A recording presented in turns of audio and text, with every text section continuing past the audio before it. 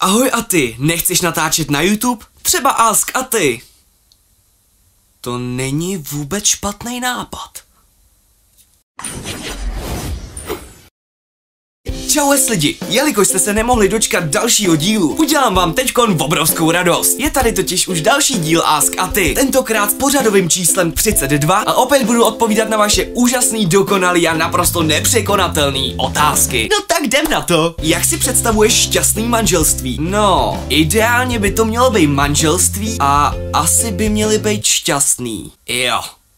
Jak vzniklo jméno Dickinson? Dickinson. Dickinson. Dickinson. Dick in Sun. Vlastně ani nemám tušení. Japonská legenda říká, že pokud nemůžeš usnout, znamená to, že jsi ve snu někoho jiného. Chudinky pornoherečky. A ty jsi pod naší kontrolou. Společnost Illuminati. Ne, to vy jste pod mojí kontrolou. Dávejte si bacha. Nikdo z vás neví, jaký má dosah Atyho anténka. Ty nevíš, kde koupím Bibli s podpisem autora? No, jelikož já, jako chodící moudrost a všeobecně známý všeználek, i na tuhle tu to otázku mám odpověď. Takže poslouchej mi rady a v životě se nestratíš.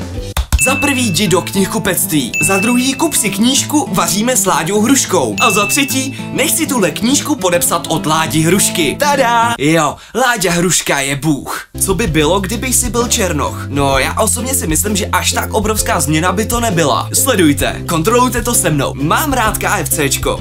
Kuřata jsou super. Taky hrozně rád žeru melouny a taky ta dílka se tomu taky docela dost vyrovná. Takže asi jediný rozdíl by byl ten, že bych byl o trošičku tmavší. Daty sexy. A ty dokážeš složit Rubikovou kostku? Mně to nikdy nepřišlo až tak moc složitý. Jo, ta moje barvoslepost má občas i výhody. Co bys si udělal, kdyby se s rázem proměnil ve špagetu? Ha, konečně, konečně pořádný Ital. Který nemá auto. A ty, jak se ti líbila Bratislava? No popravdě řečeno, některé části Bratislavy mi neskutečně připadaly jako Praha, takže jsem se tam cítil skoro jako doma. Až na to, že se tam teda mluvilo slovensky. Což se v Praze vlastně mluví taky. Kdo je lepší, Ronaldo nebo Messi? Já nevím, já bowling nesleduju. Jaký máš názor na to, že se tvoje farinka, um, prstí nad tvýma videama. No upřímně řečeno, těší mě to. Pěkně mě to hřeje u stredička a jelikož mám s takovýhle lidma soucit, posílám pár trošku odvážnějších fotek.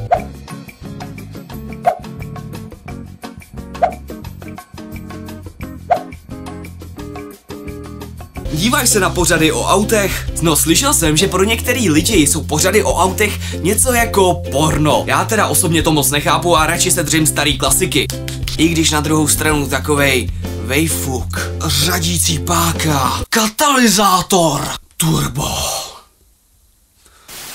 OK, a to byla poslední otázka dnešního Ask a ty. No a protože se tenhle ten projekt nechystám nějakým způsobem ukončit, tak mi klidně napište dolů do komentářů nějakou vaši otázku. Ta otázka se nemusí týkat jenom mě, může se týkat v podstatě čehokoliv. Na každou otázku mám odpověď. Taky se určitě nezapomeňte kouknout na moje sociální sítě, jako je Facebook, Twitter nebo Instagram. Ať víte, kde jsem si udělal svoje nejnovější selfiečko. Já jsem Aty a tohle byla další Aty Show. Wow!